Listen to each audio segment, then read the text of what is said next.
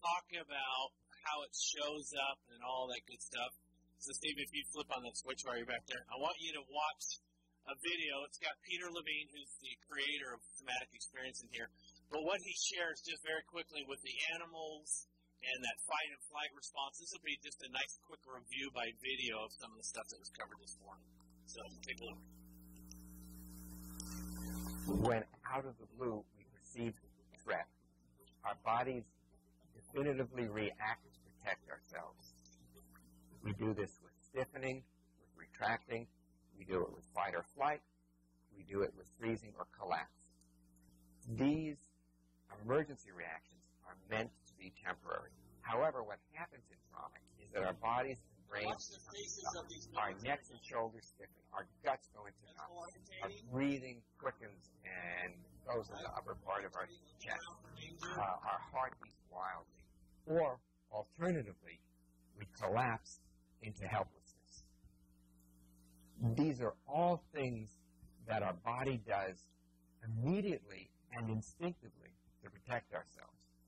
It's to protect ourselves from the initial and the actual threat. However, when this reaction becomes chronic, we develop the debilitating symptoms of trauma. From this point on, our bodies continue to signal to our brains that we're in danger. And hence, we Look how frozen he is. Threat where it doesn't exist. Leg. Until we're able to change the internal sense of our bodies, we will remain traumatized because our bodies will be continuing to send that message up to the brain. In somatic experiencing, i.e., the experience of the body, individuals are guided to change their bodily experience and in doing so, move out of trauma. They learn that they can shift from fixity and helplessness to flow, vitality, and wholeness. This is a further illustration of what Stephen Porges calls the polyvagal theory of emotion. The social engagement system involves the most recent parts of our brain in the prefrontal areas of the neocortex. As you can see from this chart, this system allows us to be in relationship, not just with members of the opposite sex, as in the illustration, but with each other. The system communicates with facial expression and with vocalizations that we make. So, for example, the soothing voice of her mother calms her upset baby. If the mother is unable to calm the baby, then the baby will go into a state of distress, the sympathetic fight or flight response. The fight or flight response involves a mobilization of our limbs, of our legs and our arms. And again, this is to escape or to fight then if this doesn't resolve the threat, or if the threat is perceived to be mortal, then the most primitive system, the system involved with immobilization, takes over. And as you see in the bottom part of the figure, this system shuts down our lungs, our hearts, puts our guts into overdrive. It overactivates our intestines and therefore uh, creates symptoms of gastrointestinal distress. These are profound nervous system states, states I've just described. We can't talk the person out of fight or flight or shut down. It has virtually no effect on those systems. The, I mean, we are able to get some soothing with our voice and with our facial expression, but once that has been hijacked by the sympathetic or the shutdown state, we lose what makes us the most human, it's through body sensation that we're able to actually move out of shutdown, move into arousal, fight or flight type states, and then return to social engagement. And the SE therapist helps track the client moving through these different states until they come back to relaxation and feelings of goodness and wholeness. Whenever we experience novelty in our environment, such as the snapping of a twig. Our biological response is to orient towards, to locate the source of that novelty, and to discern what is the relationship it has to us. So, for example, is it a source of safety, a source of food, a source of shelter, or is it a source of danger? And if it is a source of danger, well, what should we do next? In this video, you'll see an example of a herd of impala peacefully grazing on their afternoon repast in an uplands glen. Then suddenly one member of the impala detects something, and you'll notice that. You'll see the ears perk up. They're trying to localize the source of the sound and to determine whether it's a threat. Now, when they do that, their posture also stiffens. And as their posture stiffens, the other impala pick up the same sense of novelty, of needing to scan, of trying to locate through, through sound, through smell, and some degree through sight. They are hardwired to seek out what might have caused the first one's ears and the first one's body to, to change. So they're all starting to search. So because of this, you not only get one set of ears and nose and mouth, but a dozen. And so if one doesn't locate the source of threat, the other ones will. It's kind of like a hot potato that gets passed around. One animal perks up, then the other, then others see those two, and then they perk up. Pretty soon the whole herd is ready to take off. And they don't need to have the cheetah upon them before they make their exit. This is the fear arousal cycle. When we first experience novelty and orient to the novelty, then we perceive threat, we become progressively aroused. And as the threat becomes more imminent, the arousal takes us into fight or flight.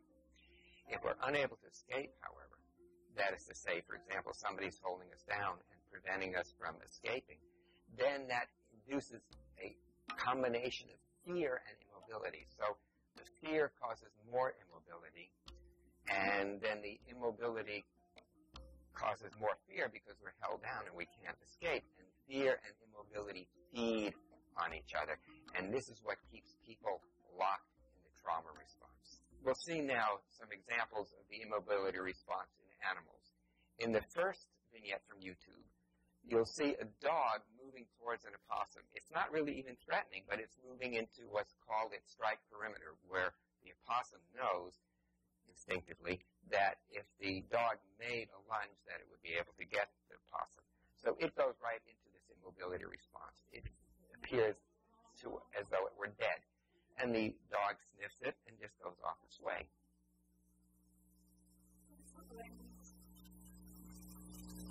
Now, in the wild, say a coyote came to the opossum, the opossum went into the immobility response. The coyote needs resistance to stimulate aggression and needs aggression to stimulate uh, eating.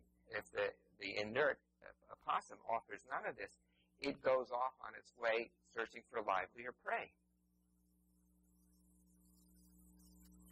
As I said before, immobility and freezing are time sensitive. So the animal goes into the immobility response, as exhibited by Brer Rabbit here.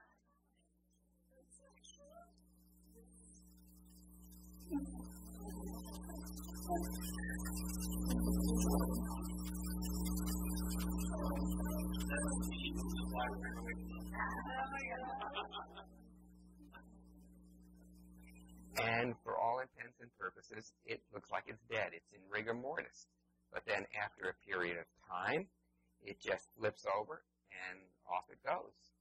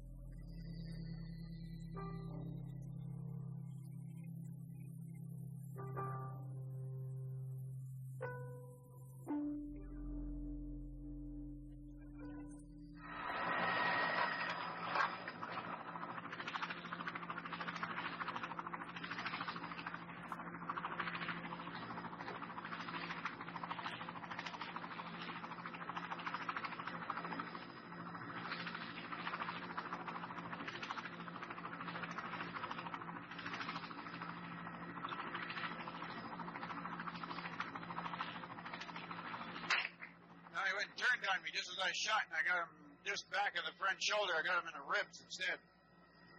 But a big male like that should be okay. It's a good thermoregulating area.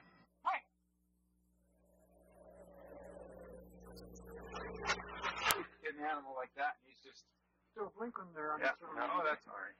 It's just He's, perfect. He's absolutely perfect. You see the size of getting a bit bigger neck and so on, yeah. So.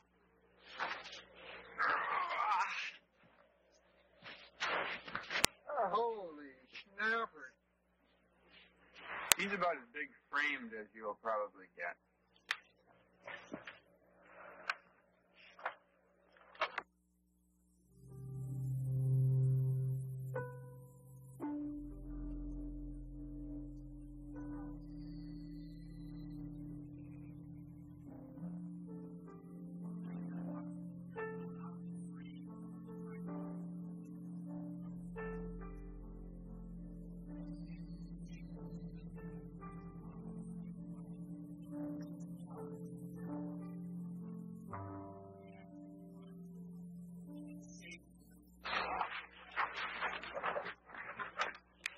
Watch that animal after he finishes convulsing, you'll see because he's aware of the fact that we're all around him, and it's a very stressful experience for an animal like a polar bear. And after he settles down, and then he'll start doing a couple of deep breaths, and then he'll breathe really nicely. And it'll re- I go, here he goes. See how he's breathing now? See, so even though it looks a little unpleasant, like it's like that. It lets off all that stress, and, and he then is able to relax and, and uh, sleep the thing off.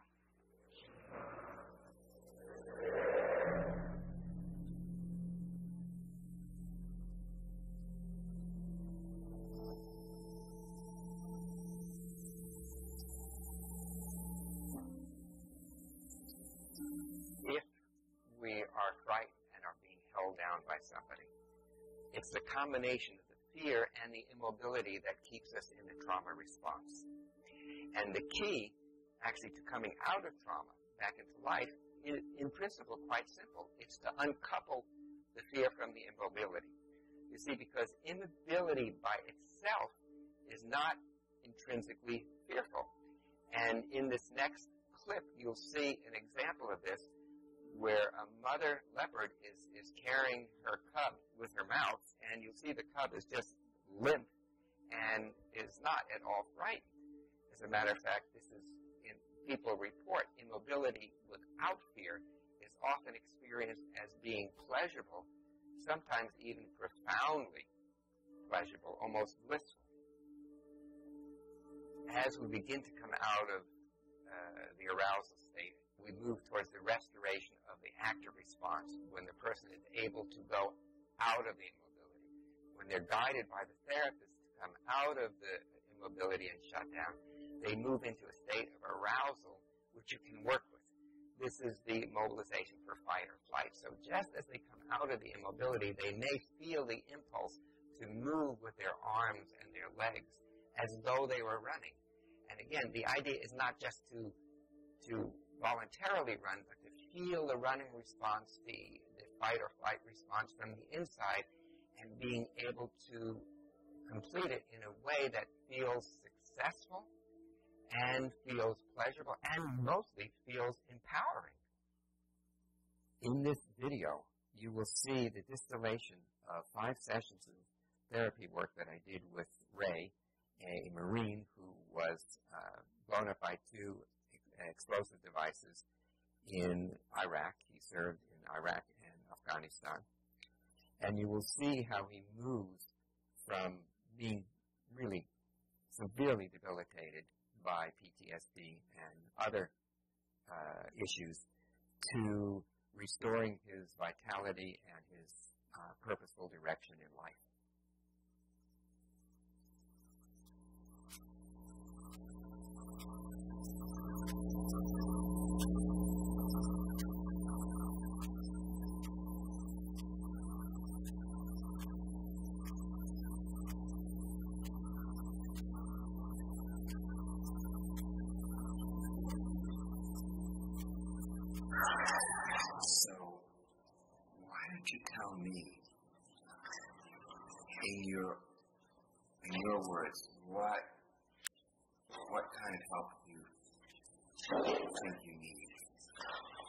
Struggling with? I say uh, biggest thing I've been struggling with was probably just PTSD. Yeah. Dealing with uh, this really large crowd. this happened on June 18th of this year. And uh, in, in the beginning, I had to kind of teach myself how to walk, talk, and think again. Uh, I guess every day it's been getting a little better, kind of. Um, now mostly I'm dealing with the uh, sen- sensitivity to bright lights, Uh-huh, yes. uh, lack of concentration, um, headaches. Now, you, you just said that you learned to walk, talk, and think again. Mhm. How'd you do that? I just fought for a lot of things. I, fought for a lot of things. everybody told me I would push things too much, but I just fought for everything that I wanted because because I wanted to be able to. I I don't like it when people take care of me. I can't stand it. Mm, So I mean, you want your independence. exactly. I, wa- I wanted my independence back. It it sucks at night. Really, uh,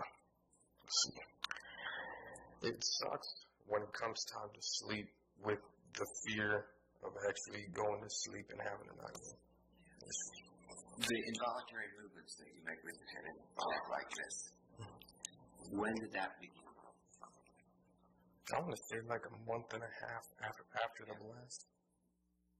the core symptoms uh, of Ray were this what was diagnosed as Tourette syndrome. Now, however, from my perspective, it was not Tourette syndrome, or it had a the, the so-called Tourette syndrome had a very different um, way of looking at it. Here's the situation: you're walking along in- a stressful situation, right? It's, it's a war zone, and all of a sudden there are two explosions and they're so powerful that you're blown up in the air. Well, the body is trying to do two things, at least two things. One is to try to orient towards where that explosion is coming from, because biologically we're wired to try to identify a source of threat. Then, at the same time as the, that his body goes into a protective response, it's like a, a, a, a flexion response, the way a turtle pulls its, its head into its, its shell. And because this happened so fast, he was his nervous system wasn't able to integrate that. And so in a way he keeps replaying that initial moment when there was the explosion. If you were able to separate them out, they're the very beginning of a turning towards localizing the source of the disruption. And then the body trying to protect itself, trying to pull its head in, trying to flex itself and make itself into the smallest target and this gets stuck. The initial part, the shock part, has to be worked on first. Otherwise, if you were to work with the emotional part, you would very likely be actually just reactivating even further the shock reaction. And somatic experiencing differentiates between these two. And I'd like to see if we can get you some tools so you can stretch this out so that these these reactions are a little bit softer. Here's what I'm going to have you do now. I want to have you very slowly, very gently, opening and closing your mouth, just the smallest amount, and then come back a little bit, and then just go to where you feel a little resistance. And then come Say that back a again? little bit. And as you do that, that will trigger those movements probably, but will also give you a chance to feel what's going on before the jerks, okay? Mm-hmm. So just let's just do that together, okay?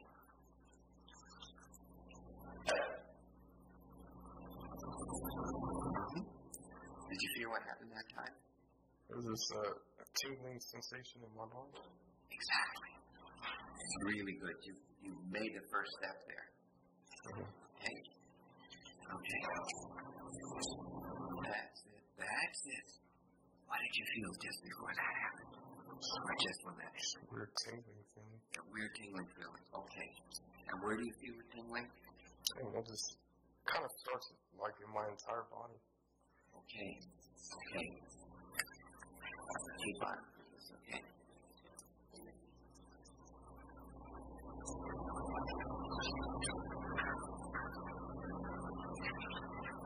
That's it.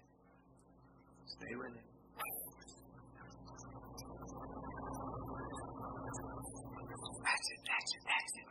That's it. Wonderful. You get you got in under the radar that time. Did you feel that? Was a little less relaxed or harsh. Harsh. Exactly. Exactly. Noticing your fingers are a little bit warmer. Mm-hmm. And your jaw, face, and neck quite a bit more relaxed. And your breath is a little more free, a little easier to feel that. Yeah. I'm able to kind of relax. Kind of relaxed. Not so nervous about the crowd. Well, I think it, it's even more fundamental that. I think you're just more relaxed. You know, sometimes on foggy night, when the boats are coming in, the Coast Guard boats and the other boats, the, the foghorn sounds. And it makes a sound like something like this.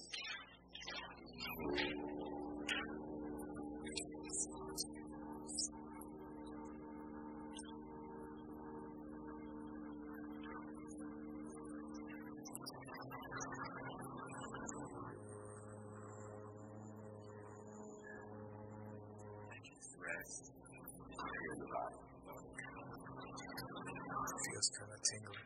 Tingly? Tingly. Unpleasant or pleasant? Feels very nice. I mean, you could see it was a nice tingling your face, a relaxed smile. Kind of like I can feel feel my legs start to relax and just kind of goes up. Fantastic. I mean, I mean, it's like I don't know. It's, it's kind of like a total relaxation kind of feeling. Yeah. Ah, that's a pretty good description. Because honestly, when I first came, my very first session, I remember in LA, I thought this was the dumbest thing in the world. I, I, I honestly, I, I was so resistant to it, and I was like, you know what? Screw this. Let's put in, let's put forth the energy needed for this to work and see where it goes. And and the uh, the payout of this work, I noticed from the first session of my twitching was tremendously down, and and it's I knew that when I would start twitching that I could just remember what he did in the session and do it on my own. That was something that he gave me that I could do without him being there, and I could not twitch as much on Wednesday, I saw myself heading towards an eight and a half or nine with the no pain idea. That was pretty cool. Um, but honestly, that really hasn't changed. I, I could see the eight and a half, nine. Uh, with Peter's work and with me continuing to do it on my own time, I could honestly see that. I would say don't stick with just medication don't think that completely numbing someone through medication is the answer. Look into other means of healing because it's out there. You just need to look for it. I hope that this brief video has given you an introduction to nature's lessons in healing trauma. That you've been able to see how what we can learn from the natural world and also about brain function really gives us a a uh, a foundation, an understanding of how to help people move out of the horrifying, debilitating symptoms of trauma back into vitality, life, and wholeness.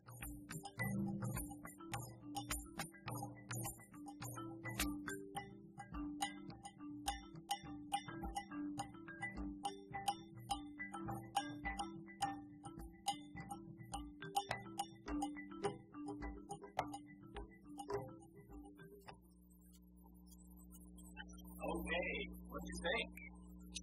A little review, huh?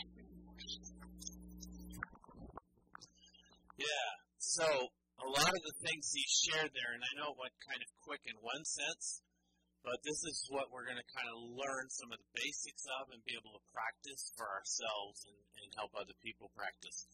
I like this video because I like that he ends with Ray there. So you got the story about him being blown up. And oftentimes it's those kind of physical sensations. So as we move on now and talk about what gets stuck on, gets stuck off. In Ray's example, just because you saw it, it got stuck on. So think about it. He's a military guy. He's walking with his buddies and this bomb goes off, this IED on the roadside, blows him up, sends him to the hospital, He wakes up, I think it was two weeks later, and kills one of his buddies. Well, what developed was considered a Tourette syndrome, but as you saw, Peter didn't see it that way. He saw it as a defense mechanism response that got stuck, that never got to complete. So I want to just do it for you because this is what you'll see either in yourself or other people that you are working with. So in Pierce, or in Ray's case, I mean, imagine um, that you're walking along the road and the bomb goes off here. Of course, a bomb is super fast. But the first thing you're going to want to do, now that we know how it's supposed to be done, right, is you're gonna you're gonna have a startled look, right? You're going to turn and orientate, and then if it's a bomb blowing up, you're going to try to duck and cover. Now, when all of that happens really fast, he didn't have time to complete that action. So I hope you heard what Peter says. He got stuck in a loop in his nervous system. So if you could complete that reaction, if you could slow it down, you would have enough time to get up here, shield yourself from the explosion, and probably yell out, bomb, or help, Notice my wide open mouth. What Peter had him do was simply chew on air and feel in his jaw the point where you feel a little resistance. Because that was one of the first things that the body could have done had there been more time. Help! Right? And so what you see is he's stuck in a loop of trying to turn and duck and maybe even yell for help. But then that gets stuck in this Tourette looking loop of right? And he can't, he does this uncontrollably all the time, and they throw medicine at him, right? So Peter helps slow that down, and here's where that intentionality came in that I talked about. Slows that down, even in a simple thing. So even repeating the process might be too much. This is where we don't want to repeat trauma, because trauma is too much too soon, too fast. If you go there too quickly, if you jump into all the exercises too much, it can be, oh, it can overwhelm your system again. This is why, as I mentioned earlier, for some people when they go to therapy and they tell their abuse story, for example, you know, well, when I was a kid, my uncle, you know, next thing you know, they're in the midst of this abuse story and, uh, you know, and they wonder why they never want to go back to counseling.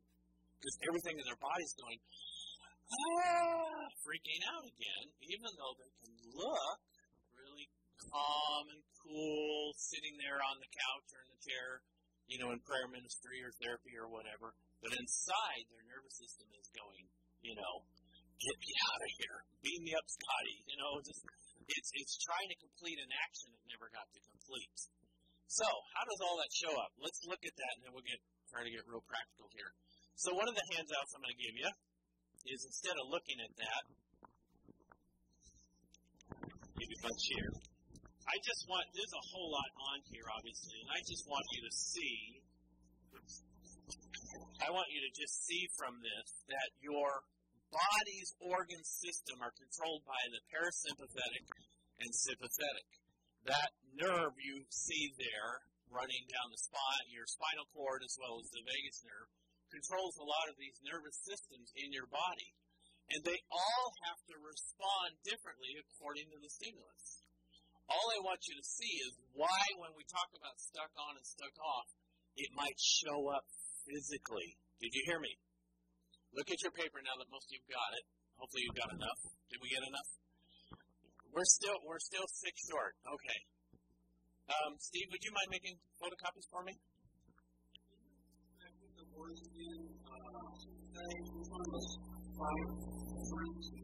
Yeah, I'm, I'm going to do that on the board. Um, yeah. If If you go in the office, no. If you go in the office, just it, it should be set. There's no code or anything for the copier, but it will be automatically on black. So change it to color and then make another ten copies. It, it's pretty simple. I think you can figure out. Thank you, Steve.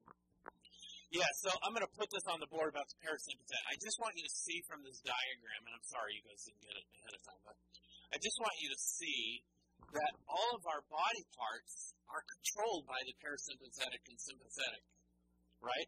So, for example, dilated pupils, right? That's that sympathetic response that wants to open up the eyes so it can see the danger. Well, if that gets stuck on, right, we can literally see it with people who look like they're staring all the time or have really big eyes. It can also show up in a startle response. These are the people where there's a slam in a car door and they they jump, right? That's kind of that stuck on sympathetic high up charge. So just so I, so I talk about it here. Easiest way I think to look at it is with this kind of what's called a window of tolerance.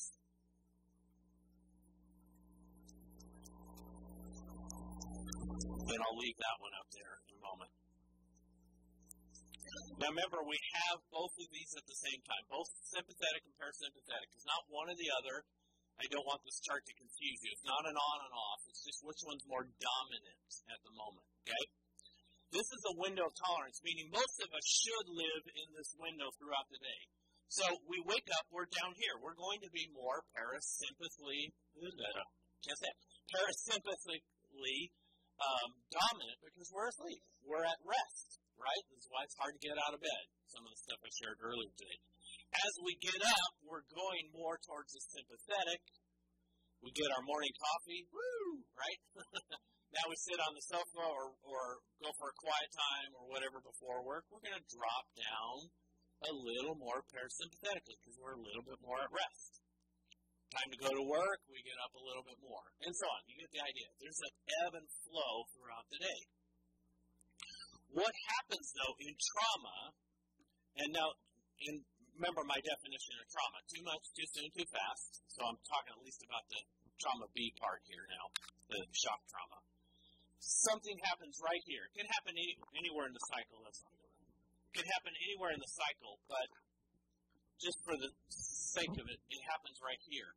It will send us into high sympathetic. That's the fight or flight.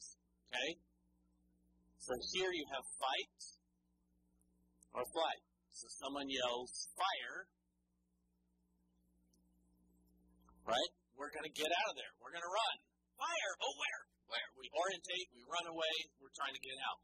That's going to send our heartbeat racing, right? It's going to cause us to race. Right? All of that is normal. That's how we're supposed to live.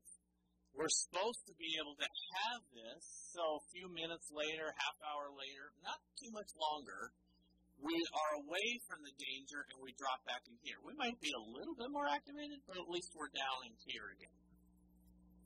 That's the normal way it's supposed to happen. We're supposed to have that. That's a good thing, right? It's what keeps us alive, keeps us safe. Often, though, what happens is when people get up here, they can get stuck on here. And so their life looks like this. In other words, their new normal is high sympathetic or stuck on. Hypervigilance, right? Short breath. Can't really fully get breath. Always constantly on alert. Those are some of the symptoms of that stuck on kind of thing. We're going to look at that a little more. What I want you to see, though, in the, the diagram is your bodily systems, and you're getting them right now, looks like. He's got them. Your bodily systems can physically get stuck on or stuck off. So this is why it shows up in our physicality.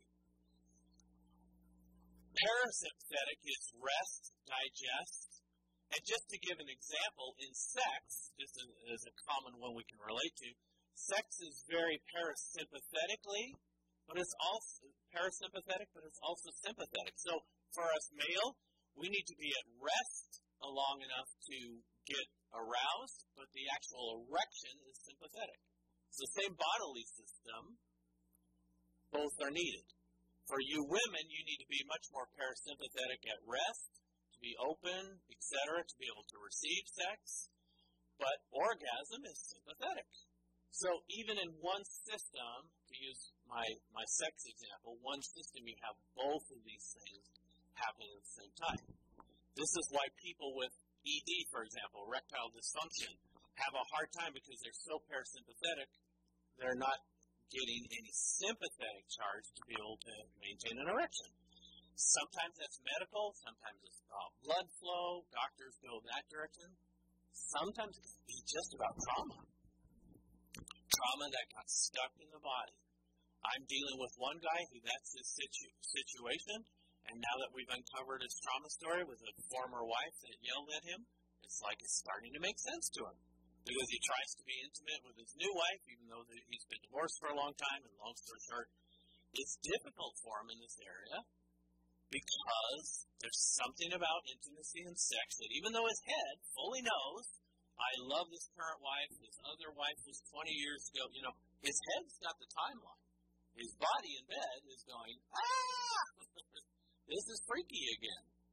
See, just as an example, just even how in a sexual problem, for example, it can show up. Yeah.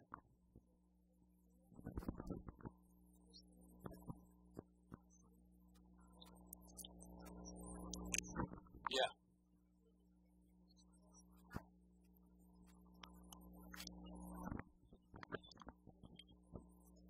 Yeah. No, it's a good question. So why when you're stressed out, right? If, if you need this for sexual arousal, well, you need, so this is where good sex happens. You need this for orgasm, for erection, but when you have too much of this, you're stressed out and therefore can't be relaxed enough to even have sex. Does that make sense? Yeah. So in the bodily system, even as you can see there, both both sympathetic and parasympathetic are attached to the different organs. They respond differently. They respond differently. Our heart is amazing. Sympathetic charges gets that heartbeat going. But if it weren't for something that they've identified as they call it the vagal brake, our heart would literally beat out of our chest and we would be dead. But there's sort of this brake mechanism that happens that still allows our heart to beat like crazy, right? But we're hmm, at least not blowing our heart out of our chest. So it's interesting how they even, and so like aneurysms and things like that, oftentimes are stress related. People have heart attacks and so on. Why? Right here. It goes so sympathetic, it's too much and overwhelms the nervous system. Physically can show up in their heart, skipping beats, aneurysm of stuff, strokes, all sorts of ways, because we're so fearfully and wonderfully made. Really interesting, isn't it? So all I want you to see is, even though we don't have time to go through how it would show up in all the different organs, I just want you to see that they're affected. So, for example, the person who lives up here, guess what? They oftentimes have digestion issues. They can also have digestion issues if they're too low and freeze. I'll get to that in a moment. But they have digestion issues up here because they're so on, their body never has a chance to go, and that's why we rest and digest.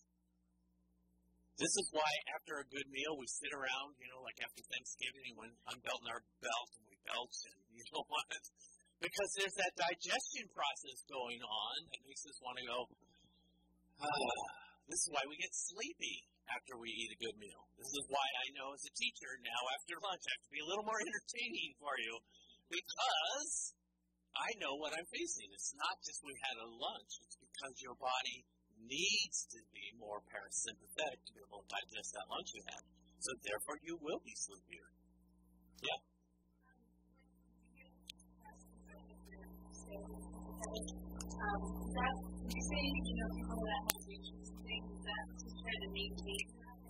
Yes, so this is where anxiety lives, right? So anxiousness, the number one problem in the world. Anxious people. Anxiety is high sympathetic that never has a chance to rest. How does it show up? Restless leg syndrome, right? The person who's always got to be doing this, got to be you know, can't you know the you know buys a little fidgety spinny toys, right? He's you know tapping, you know, playing music. Constant activity is because their nervous system has learned that this is now the new norm. So to have them slow down, sure they can do it for a few moments, but then everything starts to right starts to freak them out again. So this is why people have a hard time with quiet times, for example, because when you live up here all the time, and now I got to sit and read my Bible and pray, right? Is that an amen, brother, or a question?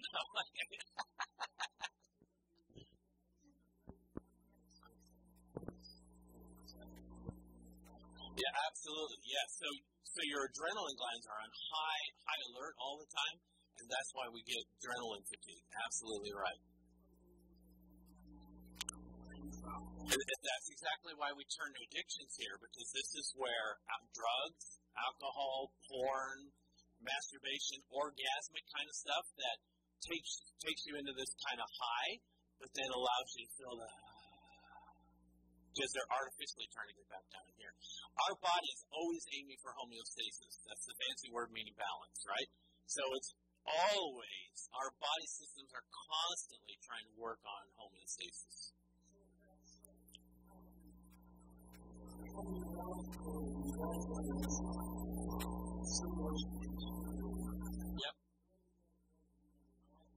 That that's the scary thing, and that and that's this. Okay, for those who three weeks ago were at my wife's seminar, this is why she went in the whole area of digestion, and why my wife Lisa taught on digestion. Because as we started working with trauma survivors, we started to see that digestion issues were so huge because they're up here all the time, high alert that it shows up in their body like this. And so to answer that question about youth and because of all all that they're into that you were asking, Steve, they're living up here all the time in such, you know, constant screen time, video games, you know, the next latest, greatest entertain me. It's so much high energy that the nature of addiction is not going to get even higher, right? Or they have to do something artificial to try to get them down, and they think they think this is restful here, right? They think getting down in this area is like, oh, dude, we're finally chilling. No, they're not. Their body is still really stressed out, and then it starts to show up And we have we have diabetes, for example. I don't know the statistics anymore, but my wife would be able to spout them off better than I do. But you know, diabetes that's getting younger and younger and younger. It's because our body systems, the adrenal glands, the pancreas, you know, and insulin, all these things are getting so stressed out because they're on on all the time. So, yeah.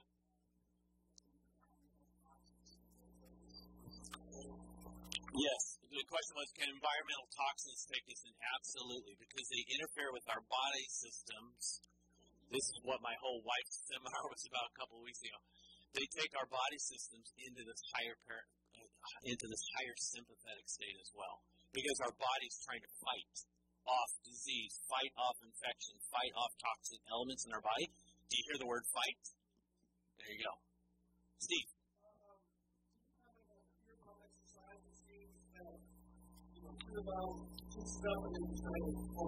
Yeah. So, are you talking about the whenever I'm afraid? Yeah, right. Life model stuff because you're you're imitating with intentionality the startle response. Whenever I am afraid, I will trust in you, O Lord. Or some people do this. There's different variations. You're teaching your body, I can go up here and I can relax. This is why roller coasters, bungee jumping, right? Because people love the thrill of this, and that what they, if you really ask them what they love, is that feeling when they come back down and they've survived. That's the sometimes the higher high. So now we're going to push it a little more. We're going to go a little higher this time, right? We're going to do a little less cord on the ankle for the bungee jump or whatever, right? yes, Dan.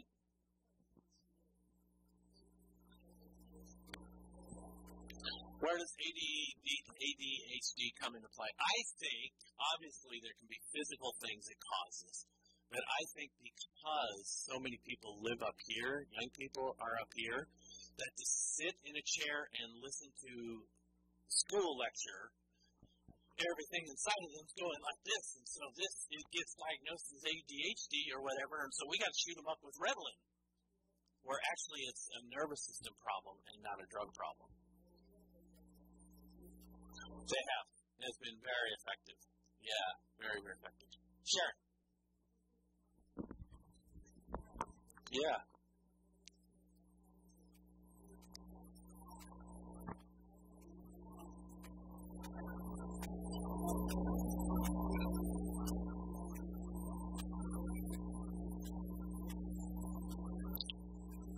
Seems to work, yeah. You you kind of let them spread this stuff out on the floor, let the kids do somersaults, sit right with them, and let them do it. Yeah, you're talking their language, so to speak. Yeah. Mm. Cool. Thanks for that comment, Sharon. Yes.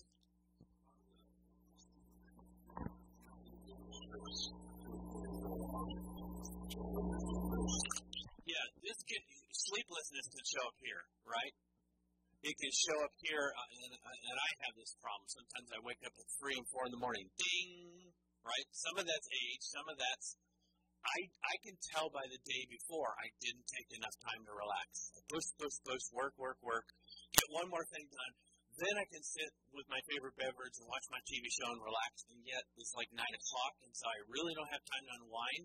So what does my nervous system do? I fall straight to sleep. I don't have any problem falling asleep.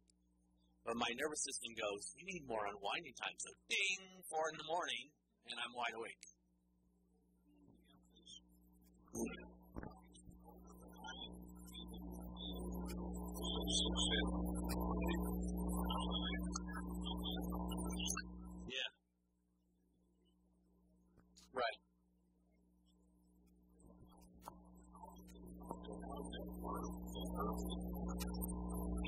That's a good question. How does that work early in life when you have sleeping problems? Like for you, you couldn't go to sleep and your mind just races.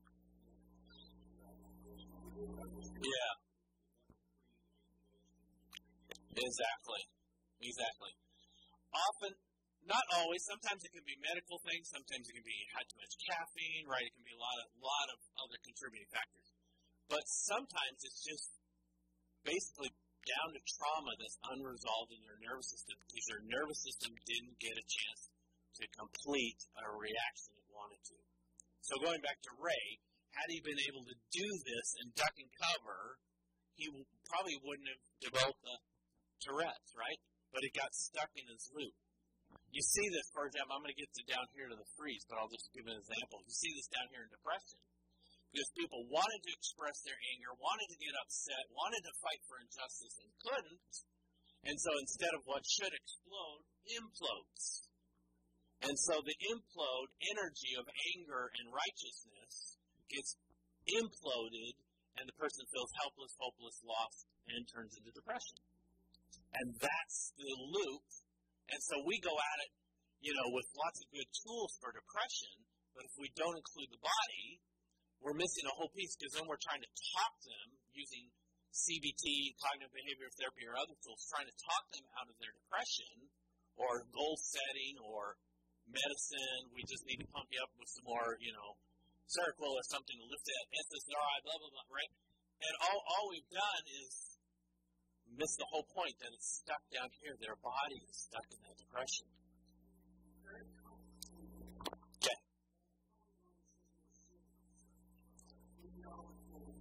Yeah.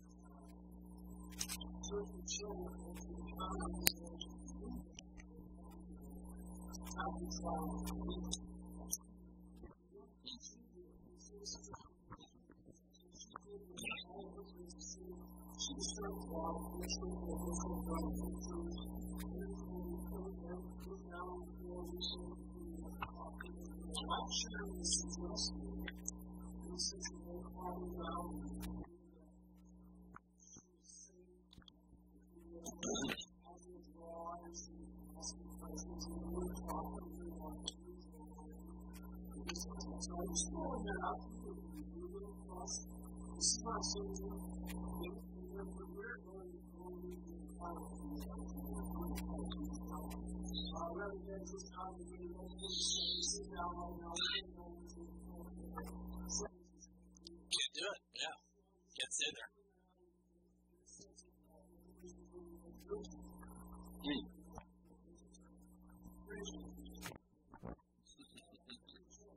Awesome. Yeah. That's good. That's good. Okay. Let me continue on here. I know you have more questions. I'll see if I can kind of answer them as we go. If, or I shouldn't say if, when you come up here, but you cannot complete fight or flight. So it's the inescapable attack, right? It's the danger, stranger danger, rape situation, whatever. Your body, nervous system, the amygdala, will go down to here. Down here, when it's really low, um, parasympathetic, is your freeze, collapse, or fold, if you want to keep with F. Can't spell collapse. Or if you like to keep the F word here, fold. And then underneath that, right here, is submit. Now, let me explain these for you. So, when your nervous system can't escape, when fight or flight wasn't an option, or you tried it and it didn't work, instantly you'll drop down and freeze. This is the fainting. This is the collapsing on the ground. This is the covering of your head, like the slide, you know, the I can't do it. I can't make it. I can't make it work. I'm now in that deeper freeze. It shows up in collapsed postures. So this is the person sitting in the chair, arms, elbows slumped in, kind of slumping a little more on the couch, perhaps. Sure, it could be a posture, it could be tired, right? So it's not 100%. But oftentimes you'll see the emotional connection. There's therapists that actually just work with people's posture to help them correct their emotional moods. It's amazing. We're so more interconnected than it's than imaginable. Just by changing your posture, right? You can feel the, you know, try it sometime. When you're down, notice you're down. We call this slumped, right? Try just standing up more straight. You know, just see what it does to you. Getting in tune. It's that intentionality. Sure, you can stand up straight won't do anything for you. It's that intentionality, connecting and feeling your body. So what happens down here is they go into those kind of things collapse. Let me talk about submit. Any of you interested or work with sex trafficking? Some of you, yeah. So this is what you see. This is why prostitutes and kids and sex trafficking will go right back to it. And we scratch our heads and go, why? I got him out. I rescued him. I got him a safe house. I got him money. I got him a new job. And they went back to their pimp? I don't understand why. Well, actually, the explanation came years ago in what's called the Stockholm Syndrome. You ever done Basic Psychology 101? Long story short, a literal bank robbery in Stockholm, Sweden. The captives were, were taken captive, obviously, by the bank robbers and held hostage. And by, if you know anything about Sweden, which I do because I live there, by the time the police negotiated with the hostages, it was many days. And what they found flabbergasted them that the hostages who were absolutely anti, you know, bank robbers, captives, actually joined their side by the end of the hostage crisis because they learn something really interesting in their nervous system that if you can't fight or fight, fight or flight, if you can't freeze or fold, you will eventually go to the lowest form, which is submit, because it's a survival technique. It's just easier to go with the flow. So we will do this ourselves. Like, I don't want to confront the person. I don't want to rock the boat. It's just easier just to submit. So this is where some troubled marriages come in, for example, where a wife or husband is submitted. And I don't, when I use the word submit, I'm not talking the biblical definition of submit, okay? I'm talking about the fold freeze kind of submit where I give up. I can't do it. I'm not talking biblical submission. I'm talking it's so deep, they're not even aware of it. They function normal, they look normal, they, you know, can do normal stuff with their body, but emotionally they have just gone into such a deep collapse that it's turned into a, a, a cement. And sometimes what they need is something to really rock the boat enough to get out. Sometimes people have to go to the bottom of the bottom before they're willing to get out. Anybody's worked with addiction or addiction, you know, drug addicts, alcoholics, and so on, know this. And sometimes people have to go to the very bottom of the bottom before they're willing. Notice the word will, willing. That's where their soul part of them kicks in, willing enough to do something about it. Because submit's just the easier way to survive. Submit is just the easier way to survive. So how do we write that? If they're down here, they need more sympathetic. If they up here and sympathetic, they need more calming, more parasympathetic. Very simple. So your question, Steve, how do, how do you break that? If they're up here, they need more of this one. If they're down here, they need more of this one. What does that mean? That's what we're going to look at very practically. For you guys that are here that are therapists or, or here as helpers, your best work with the people you pray for, minister to, counsel, do therapy with, is right here on the edges of the window of tolerance. What does that mean? That means the person that's way up here, you're not going to get them down here or even here in a session. But if you can get them down here to the edge, your best work will be done with them. Your best prayer ministry will be done with them on the edge of the window tolerance. If they're down here and you get them a little activated, your best work will be done here. I just simply, I'll use this. I just simply do this. If I'm talking to a guy, that's that's a ball or something a little heavier, and we're talking, doing counseling, and if I could catch with one hand, we're just talking like this, and I'm just we're just throwing a ball back and forth. You know what we're doing? I'm giving, yeah, exactly, and I'm give, I'm giving him more sympathetic charge just simply by throwing a ball. Because by doing this, he has to concentrate, and he has to think and look, and he's got to throw it. He's got to use his arm or she, right? So just as simple as talking and throwing something like that can be really helpful. Thank you for being my little demo. Just a small little tool, but that's enough for some people that are maybe down here, not way down here, but some are down here, maybe just to get them enough activated to bring them into that window of tolerance where there'll be more work. Because otherwise, they'll sit on the sofa like this. And then I know they're too sympathetic. Parasympathetic, sorry.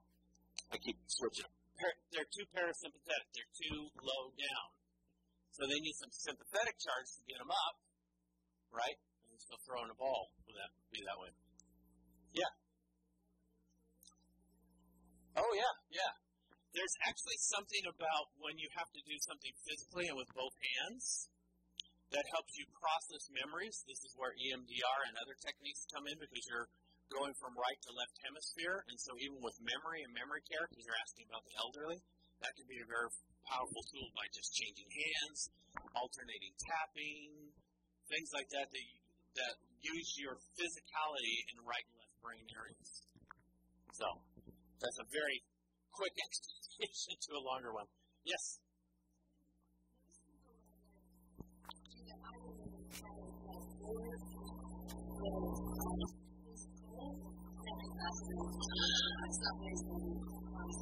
Yeah, great question. Um, the question was, can, do most people live up here in fight or flight, or do they live down in in freeze or vacillate? All the above. The anxious people who are primarily anxious will be up here. The depressed people will primarily be down here. But here's the really weird part. And before I tell you it, let me give you an illustration you can all relate to. Everyone here drive? Okay, I want you to want you to put your feet out in front of you like you're going to drive. And if you went to driving school, you were taught to only use your right foot, right, for the gas and your right foot for the brake, unless you have a clutch car. Okay?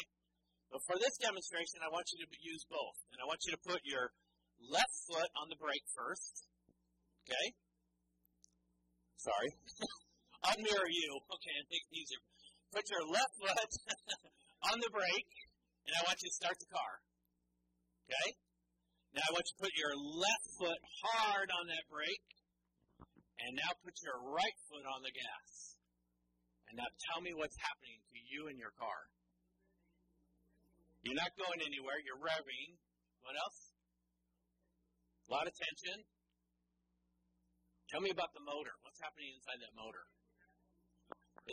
It's stressing big time because it can't go anywhere, but it's got full gas. That's a lot of stress. To answer your question, the weird combination is the people who are stuck on and stuck off at the same time. And a lot of people are more stuck on and stuck off than you think. Because part of them is stuck on and part of them is stuck off, and they've got the gas and brakes on. And so they show up both symptoms depressed but anxious. Right? And I'm not talking to and stuff. right? They're, they're depressed. They're depressed. They're anxious. They're nervous, they're hyper vigilant, they're fully on, and yet they're lethargic, energyless, can't get out of bed. But inside is an engine going. you feel that? That's a stuck on and a stuck off all at the same time. Really, really weird combination. Harder to work with because you kind of have to pick one. Yeah, at, at least at, at least at the moment, you have to choose one at the moment what you're going to focus on because to try to focus on both is too much for your nervous system. Yeah, focus on where the, where the gas is or where the brake is. Yeah, yeah, that's a harder one to deal with. Let me show you a little bit more, and then we'll we'll uh, do some questions around it too. To my, I think I, I think it died. Steve, can you hit the well the light the lights on? Yeah. Yeah, just hit hit my uh didn't totally die. I'll restart it here in a moment. What I want you to see here though, I'll draw it this way, is if is if they're normally here, can you think of times and places where you got activated, went way up here, right? And then you should you should and maybe came down later on that day or that hour or something like that. So to use my example, someone cutting you off on the highway, right? You're going to be sympathetically activated. You're going to honk your horn, ah, right? Get out of my way, you crazy idiot, right? Or whatever. And then a few minutes later, hopefully you relaxed enough and you're okay. But have you noticed that maybe in that example, places where you were stuck on? Can you think of places in yourself that are anxious? So let me show you other ways before I restart my frozen computer, I guess. If someone, I'll demonstrate with this chair. If someone's sitting in a chair, look at my feet. Now, this would be a, a smaller chair, but if you notice my feet here, do you notice my feet? That could be somebody who just likes to sit that way comfortably, but I oftentimes, more often than not, this is a fro, uh, sorry, a flight response, not a freeze. They're actually subconsciously sitting this way because it's easier to spring out of the chair. So little things like that you can be aware of, even with yourself. Find yourself like in the next time you're in a situation where it feels a little uncomfortable or it's a little bit awkward, things that are happening, you know, that you don't like, tune into your body. Notice your feet. Notice your energy. Are you trying to flee? Is there a part of you that wants to fight? How does fight show up? Anger, tight jaw in particular. This is one of those ones where people, you know, they're like, oh, I have to go to the dentist. Have to special thanks because my dentist says I grind my teeth at night. I hear that and I think, trauma. Someone's angry and it's not getting expressed, so they get into sleep, subconscious land, and right, there's the anger. They're grinding away at their teeth. You want to just restart it for me? Oh, you do. Oh, you know what? E- exit it and, and turn turn on the PowerPoint back on for me. Hit hit, hit yeah, hit escape and yeah, must have got stuck on that one. Okay.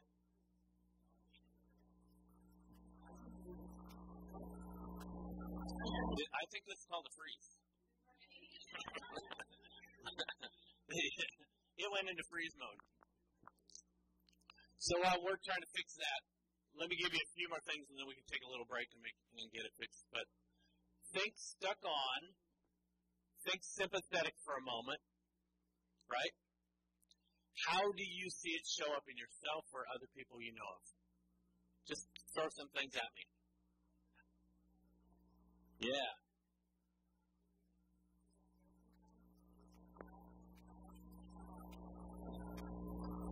Okay. Yep. Can't get out of the deadline. There you go. Constant busyness, yeah, because your nervous system learns this high on all the time and then has a harder time to relax. Yeah. Oh, sorry. She said constantly on, constantly busy. Mm-hmm. Rumination, absolutely. People who ruminate get stuck, things going over and over in their head, can't ever seem to relax. Yeah. This is why they've done studies, for example, on uh, vacation time. And having lived in Sweden myself for 12 years, where most Europeans get four weeks vacation to start with, most of the average have five or six. They've actually learned that it takes a full two weeks to unwind from working before you actually rest. What does America do? You're lucky if you get one week. And then if you do get two weeks, you have to almost get special permission from your boss to take them in a row, right? So we don't know how to unwind. yeah.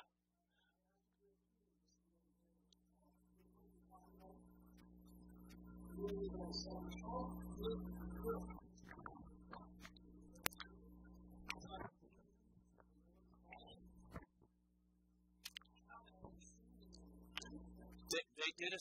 They, I know they did it. They how that came out, how they found out about that is they did a study on work and work productivity, and found that people were much more pro- productive after having at least four weeks off in a row than their like U.S. counterparts that maybe only had two.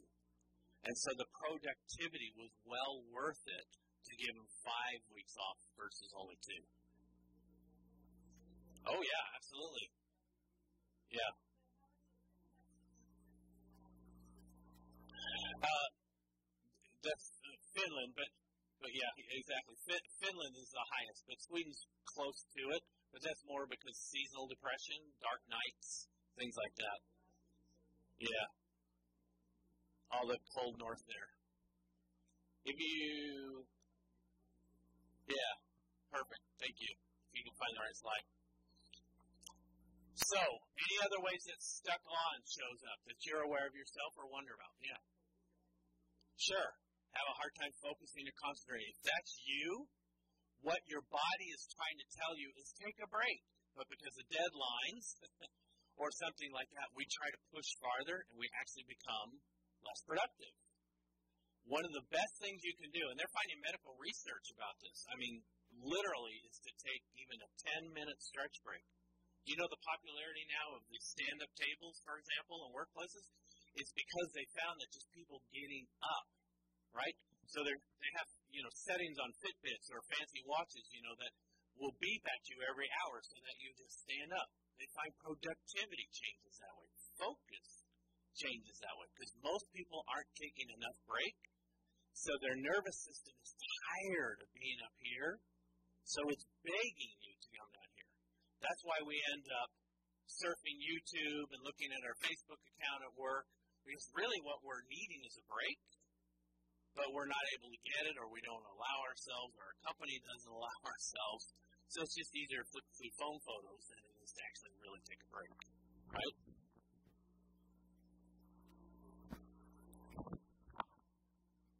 There you go. Constant changing, yeah. yeah. So put away the phone, get outside, and allow yourself to come down here. Yeah.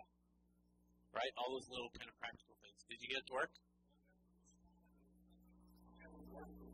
Hit, hit, hit shift, shift F5.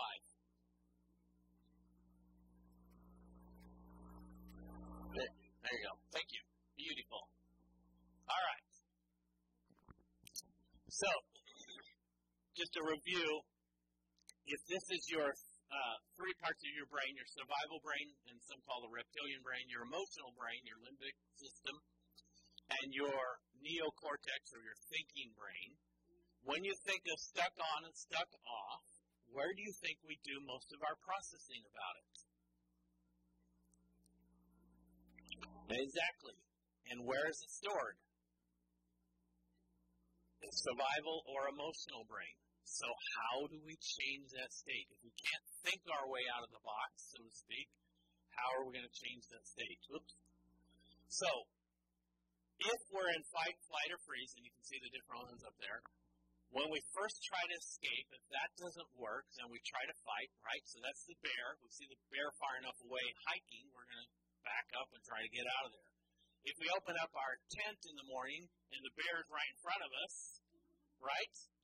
We're probably either going to try to fight, maybe, if you're bold enough, or you're going to collapse down in your suitcase, or suitcase, your sleeping bag, I mean, put your hands over your head and, hope for the best, right? So, depends on how much we feel the threat at the moment. Also depends on how we respond to that.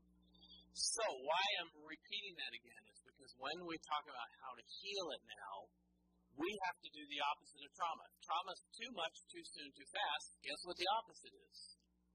Slowing it down. Slowing it down. Because then it becomes less threatful. If the bear is right here in my face, that's really scary. If it's a half a mile away and I can see it from the other side of the, you know, the forest, the, the little meadow, I'm pulling out my phone or my camera to take a picture. Because it's no longer a threat. It's, oh, cool, bear. Right?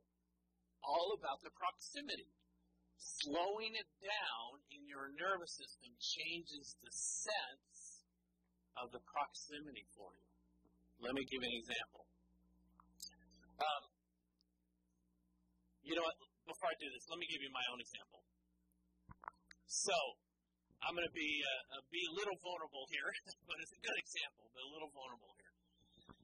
So, I noticed something about myself, and I didn't really honestly give it a whole lot of thought, but maybe some of the guys in the room will relate to this. But when I would go into public restrooms to use the urinal, you know us ladies, we have these urinal things we stand in front of. I noticed that I had a hard time to go pee. Now, I'm just being really vulnerable and honest with you. If the restroom was empty, it was no problem. But as soon as there was people in it, everything inside me tightened up. And I looked online, I Googled this and found out if you do math problems and think about your check balancing, balancing your checkbook, it helps. And it did, but not fully, if I'm honest. Yeah, please. And then it showed up that I noticed that when I would go to restaurants, I would, uh, without really thinking about it, innately find a booth where my back could be up against the wall. I hated, hated, hated when the only spot was left in the middle of the restaurant, and I knew people were walking behind me. And I just thought, you know, it wasn't super big, but it was enough to make me uncomfortable where I like, I found myself looking around a lot and feeling this anxiousness. I honestly didn't think about it very much. Kind of just one of those little quirky things, you know, you sort of live with and you don't really think about. So, but it would show up at least in public bathrooms because I would walk into like going to Kansas City Airport, you know, when there's a bunch of guys in there. I'd go find an empty stall, even though I didn't need to use the toilet. I only needed to pee. There's the vulnerability for you. I would go find an empty stall because when the door closed and I was in that my little stall all by myself, you hear the relaxation? And I could eat. Now, many years later, I'm going through this somatic experiencing, and one of the things you have to do is you have to get your own counseling and experience this kind of stuff. So I'm getting my own counseling, and I don't even remember what we said we would talk about, to be honest with you. But I, I, I said something like, you know, I have, as I'm sitting here, and the lady that was doing the therapy with me probably just had me sit with my feelings, which is one of the things I'll, I'll share with you or teach you. Just sitting there with my feelings, and this memory came up, and I said, "It's really random." She's like, "No, go go with it." So I said, "Well, I remember as a kid uh, that my dad my dad was a high school teacher for a while, and I, and I lived in Castro Valley, California, Bay Area, and my dad was teaching at the uh, San Leandro High School there." And I remember going to a high school football game. Now, when you're six years old, school football players with all their garb on, you know, they're like gods. And so I was in this bathroom, standing in front of the urinal, doing my business, and these other football players came in. You know, as a kid, you're like, wow, cool. You know, they're, they look like giants. And they were horsing around and goofing around, and one guy pushed the other guy, and the guy came came this direction and bumped me, and I went into the urinal. And of course, they're high school students, and they all started to laugh, and course, felt a flush of shame and the embarrassment, and I honestly don't remember anything after that. I just remember the shame of it. I'm sure my dad took me back to the game and probably I don't know if I watched the game. I don't know how fully present I was. I really don't remember very much, but I very much remember the push into the urinal and the sound of laughter. And so I didn't even make the connection between that and the restaurant, but I did make the connection with the going to the public bathrooms. So I said that to the lady, and so like the good SE therapist she was, she was like, "So what do you notice in your body, Eric, as you're telling me that story?" And now she's observing me. And I'm like, well, I notice, you know, I, I feel a little flush in my face. She says, yeah, I noticed that too. a little, little tighter, to, you know, a little tight breath there. Said, yeah, I noticed that too. And she said, yeah, I noticed your heart rate's beating faster because if you look, if you look at specific points, you know, you can tell when people's heart rates. And like, yeah. And well, what else do you notice? I said, yeah, I'm kind of uncomfortable. This is really awkward. You know, I'm telling you about going to pee and you're a lady and, you know. So we had kind of a good little laugh about that, but we kind of moved past it. And then she said, so what if you could slow that down? And I kind of knew what she talked about, but I didn't know. So what do you mean? Well, first of all, she takes me to the end of the story. How did you know you were all done? How did you know that trauma was over? I said, Well, I don't remember a lot, but I remember my, you know, I remember the, the football game. I don't know if I remember the beginning or the end or what, but so tell me about the football game. Well, I'm, I'm thinking, yeah, but I just told you about another story. Why do you want to know about football game? Well, what she was doing with me is she was trying to resource me.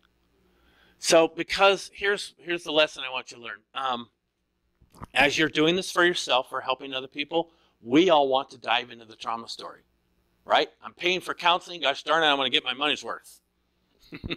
we want to hop into the story, and even something like that can be too much, too soon, too fast. One of the ways to slow it down is ask the person when they know they were out of that. And even if I couldn't remember, I, I said, well, I can imagine we probably watched the game. And so what were games like for you? Oh, I love football and I love the, you know, I started talking about it. And now I'm no longer having the flush in my face and my heart rate settled down, my breathing settled down. Unbeknownst to me, very much aware, my, my therapist was very much aware, I was relaxing. What happened? I took myself up here by starting to tell the story, and she helped me come down here. What did that do? It helped me learn the flexibility it helped me learn to know movement. A lot of times people are stuck. We call it stuck for a reason. Their nervous system doesn't know the flexibility. Oh, sure, they can go home and have a beer and, and relax and they can go to sleep. They'd be dead if they didn't sleep. So it's not like they never relax, it's with the intentionality around the event or the emotion they just experienced. And so she was resourcing me. So I got to talk about football. And yeah, we used to go back home, and my dad would make a whole bunch of cocoa. And sometimes he'd invite some of the students over because my dad was really outgoing and loved to have the students come over. And so she'd ask, So what was that like? Oh, I don't remember, but I just remember the smell of hot cocoa. Take a moment and smell hot cocoa, Eric. My mind can go, Well, that's stupid. That was, you know, 50 some years ago. But in that moment, I can, like, Hmm, hot cocoa. See, our imaginations are powerful. Remember, our, our brain has the timeline. Our body, my body could, ah, I could imagine sipping hot cocoa. What was she doing? She was giving me a sense of connection, comfort, safety, grounding me in my body through my senses. When we work with people's bodies, so now we're being practical here. When you work with yourself, work with your senses. What do you smell, taste, touch, see? Most of us in trauma get very tunnel visioned. usually all we see because we're looking for the exit. We're looking for the fight, right? Or we're down here and collapse and don't see anything. So a lot of times sight is one of the first things that goes or one of the first things that can be brought back online, but we oftentimes don't think of the other senses. Yeah.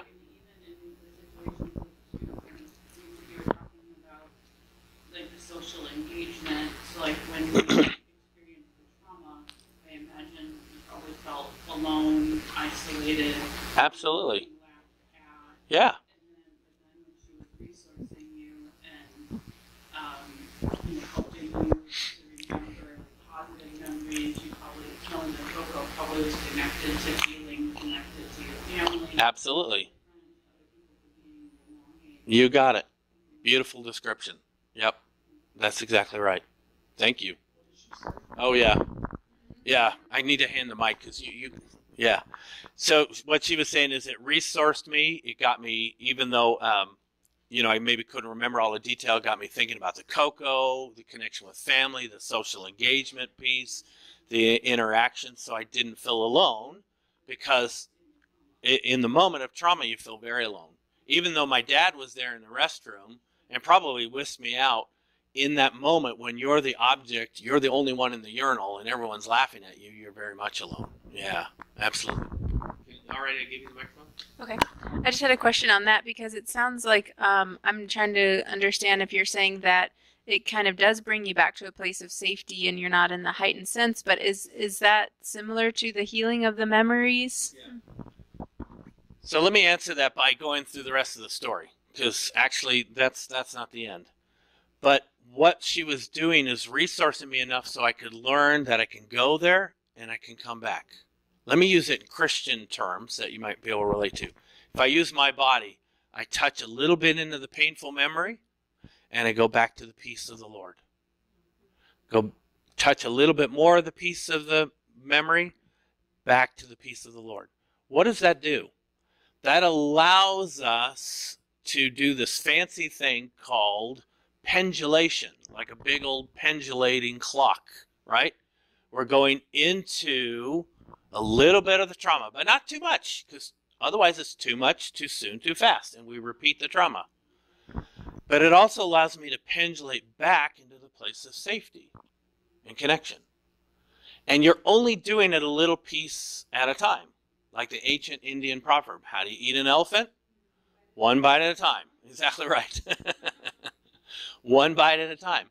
And the fancy word for that is titration. So if you're a chemist here or work in a pharmacy, you know that term very well, right? Measured out little bit at a time because too much is too much, too soon, too fast. You're repeating the trauma.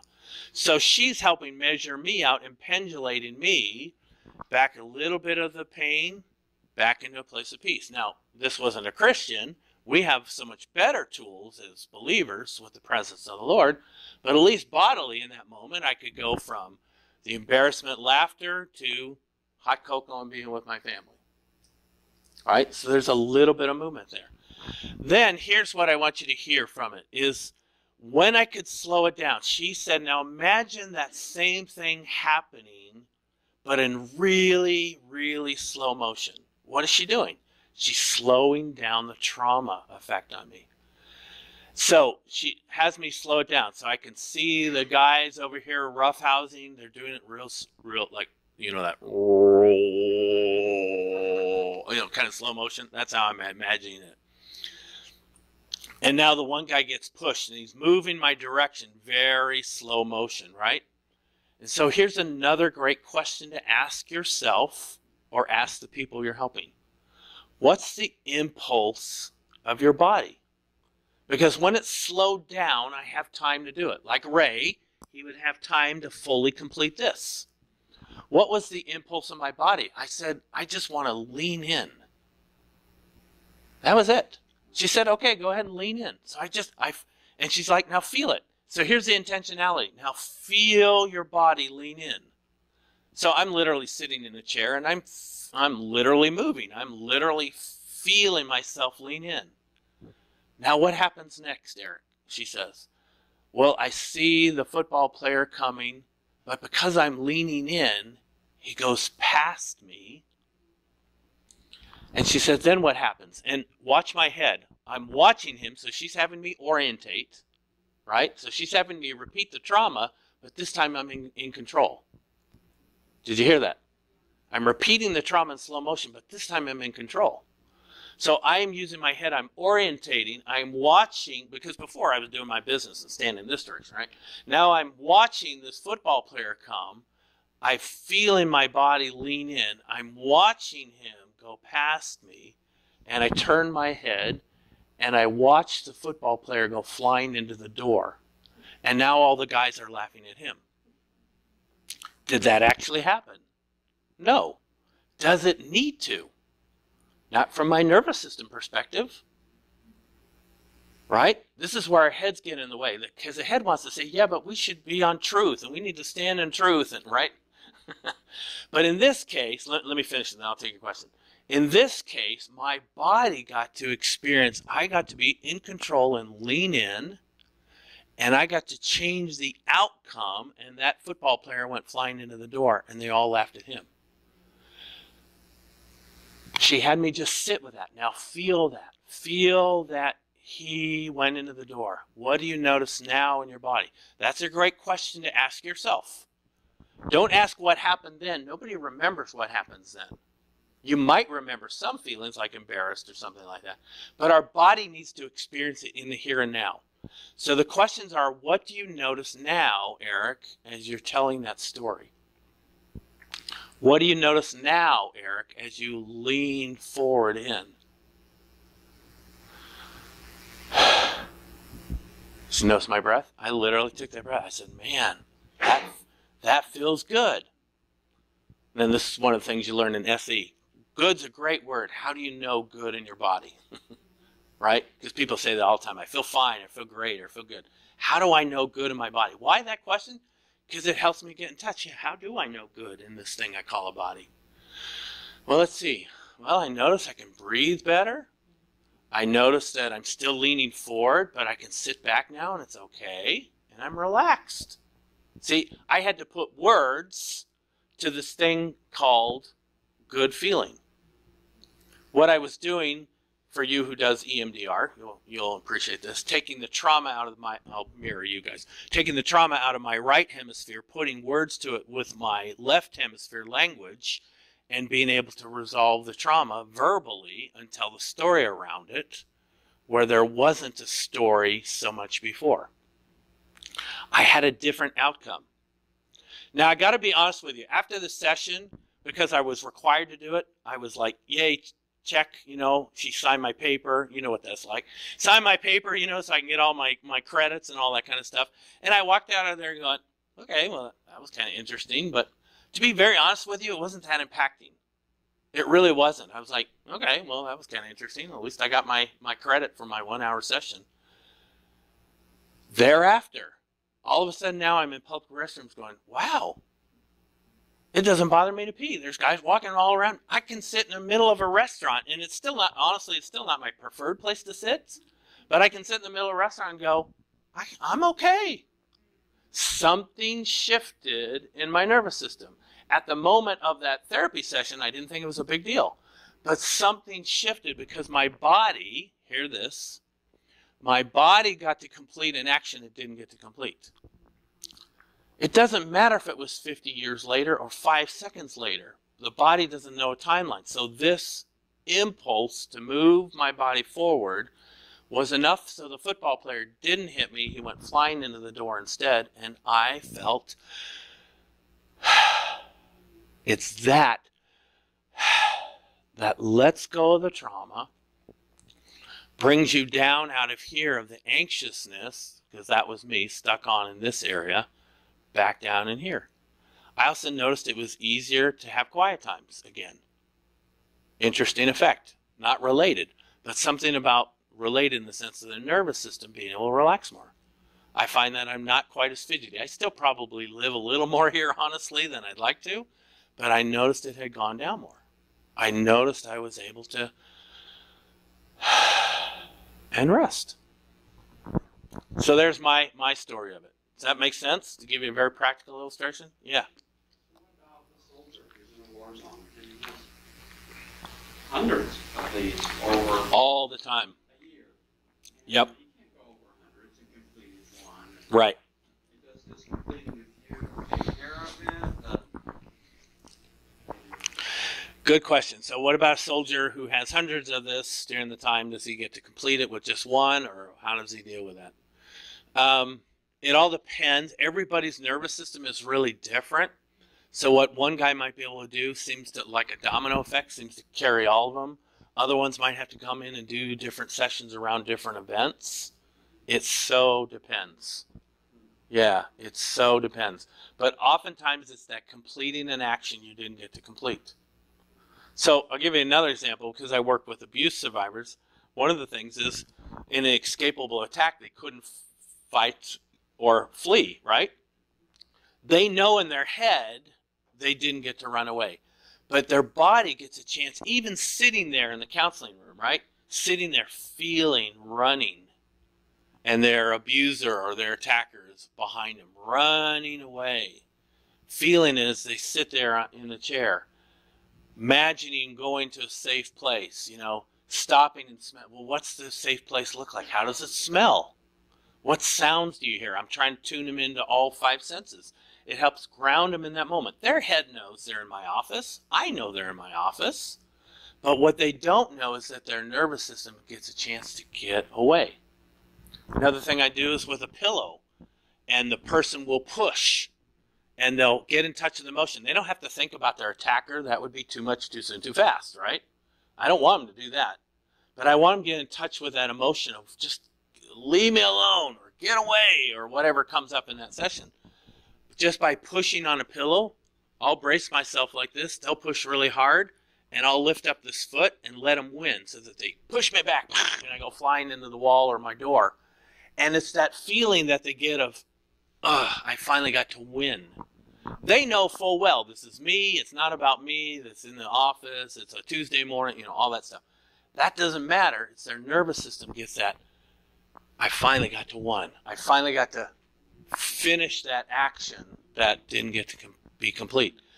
And oftentimes I find that when it doesn't work the first time, sometimes I have to do it over and over time. Sometimes I have to get in deeper places emotionally to feel that. So it's not like a magic pill. It doesn't always work instantly. But what happens is when they get that chance to complete the reaction, the energy gets let go. Yes.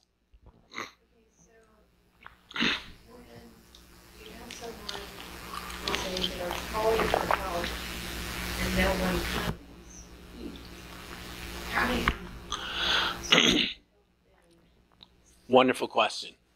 How do you, if someone calls for help and no one comes, how do you complete that? This is where holy imagination can come in.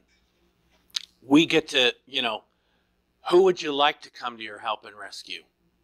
You know, if they're Christian, they might say Jesus. Well, double check with that because first they might answer Jesus because they're a Christian because it's the right thing to do. They might also be pissed off at Jesus because he didn't help them, right? So we have to be careful with that one. So I use the question, who would you like, real or imaginary, to come and join you? That allows Hulk or the Superman or, you know, superhero or whatever. It allows dead Grant Betsy because she was my caretaker. You know, it, it allows anybody to come into that moment and answer that call for help. Yeah.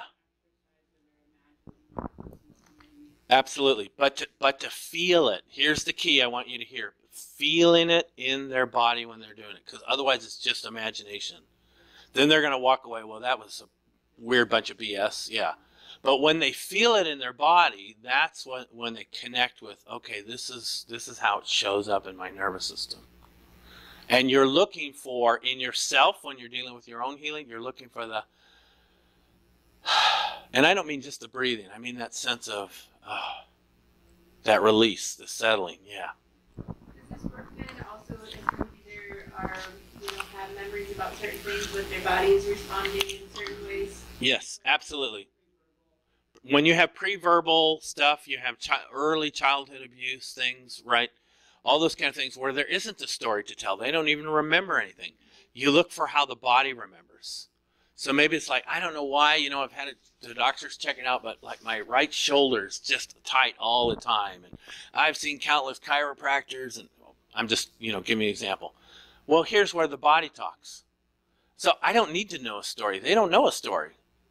So in traditional therapy, you're kind of stuck. But when you just use the body, you can go, well, if that body that's really sore and stuck right now had a mouth of its own, so pretend like there's a little mouth right up here in that short, and it could say anything that it wants to. What might it say? It's really an interesting question to watch what comes out. Right? It's so interesting. Yeah, I mean, in that kind of case, they might say, you know, I, I literally had a pastor. It was a different from his stomach, but he, he literally get the hell off me, and he went like this and went like he want he wanted to, you know.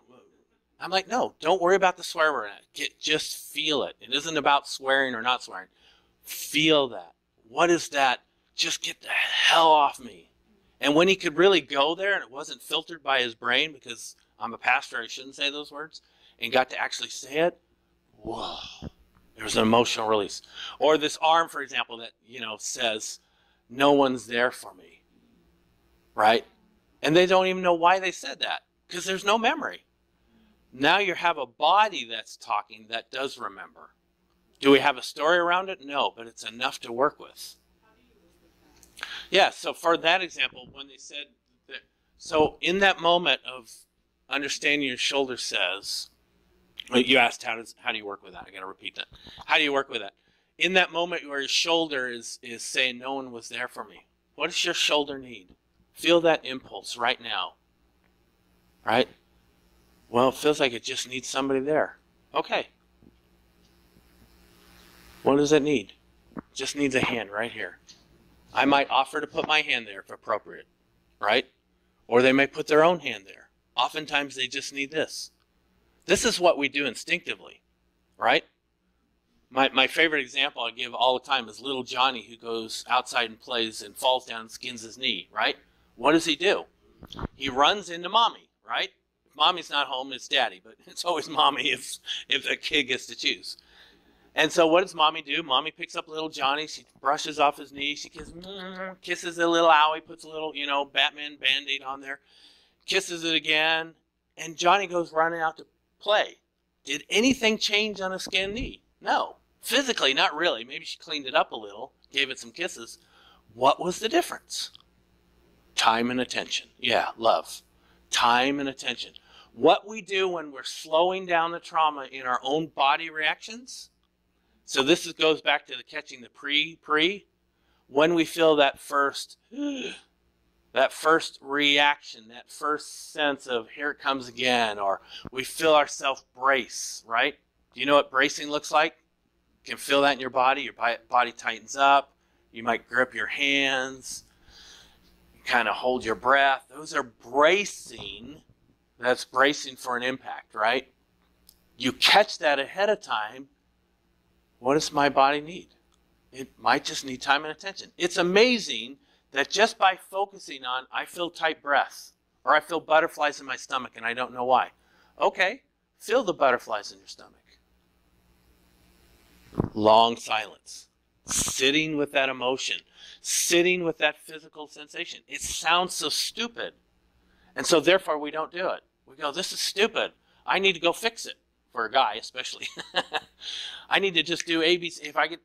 No, just sit with it slowing it down, giving it time and attention. Wow, I noticed butterflies in my stomach.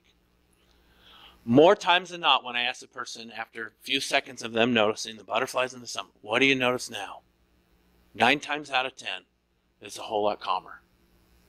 Why? I didn't do a thing. They did by giving it time and attention. Because, like little Johnny, he just needed time and attention for the owie. We don't give ourselves time and attention.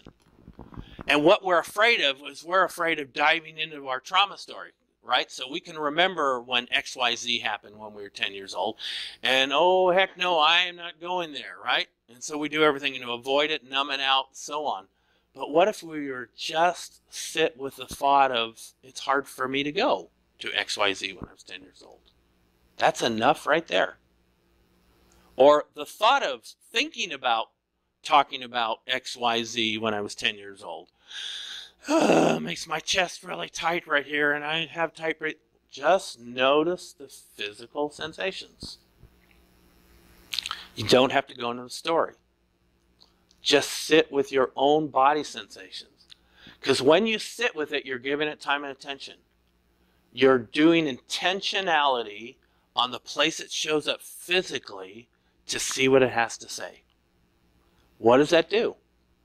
It makes you curious, it makes you open, accepting, and loving. COAL, an acronym to, to remember C O A L. Curious, open, accepting, level. What are you doing? You're being relational, ventral vagal, you're being relational with yourself in that place of pain without having to dive into the story. Because nobody wants to dive into the story. Right? It's too triggering. C O A L. Curious, open, accepting, loving. COAL. It's just a good one to remember as you're sitting with your own feelings or you're helping somebody else process theirs. Just curious. Don't try to fix it. We all try to fix it. Especially us guys. We're notorious for that. Be open towards it. What's it want to say? If it had a mouth of its own, what might it say? Accepting. Let's just see what it has to say. Even if it does want to scream and shout or swear or whatever, right? And loving towards that response. Because that's what mommy does to little Johnny. She doesn't shame him for getting the owie on his, right? Maybe some moms do, right? And that's why we have trauma A. See, curious. We have trauma A because we were shamed. Mom said, Why are you being so careless? Don't you know those are new jeans? Right? And then we never want to go to mom anymore. But anyway, that's trauma A. but if we have good parents, they, oh, come here, time. Right? They're giving time and attention. They're not really changing this thing, but it changes it emotionally. This is that connection to your limbic system, to your emotional brain, because you're feeling it in your body. You're, you're noticing the butterflies in your stomach, or your, your tight chest, or your hard breathing, or I feel flush in my face. Whatever you're feeling, my jaw's tight, and I'm really angry, and I don't know why. Okay, feel that. Don't try to fix it. Just be curious. Just try to be open. Try to be accepting, loving with it, and see what happens next. That's all you're doing. Not fixing it, just see what happens next. You'll be amazed at what it does for you and the people that you help. Loving. Yeah. Loving or lovable. It's about love. It's all about love. Yes, Steve. Break time? Yes, I was just thinking the same thing. All right.